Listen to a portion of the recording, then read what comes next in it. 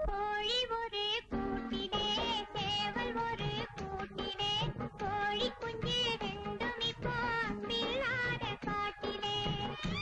அடித்தாலும் அழைத்தாலும் நீங்கள் தானே துணை அப்படியே தவறு செய்தாலும் தக்க தண்டனை கொடுத்து விடுங்க ஆனால் இனி ஒரு முறை வெளியே போவது மட்டும் சொல்லாதீங்க அது நீங்க பேசாம உட்காந்துருக்கீங்களே நான் என்ன பேசுறது? இது பாப்பா ஞானம்மா. என் பொன் மகளானே உம்மா அந்த தகுந்த மாப்பிள்ளை. நீங்க இல்ல.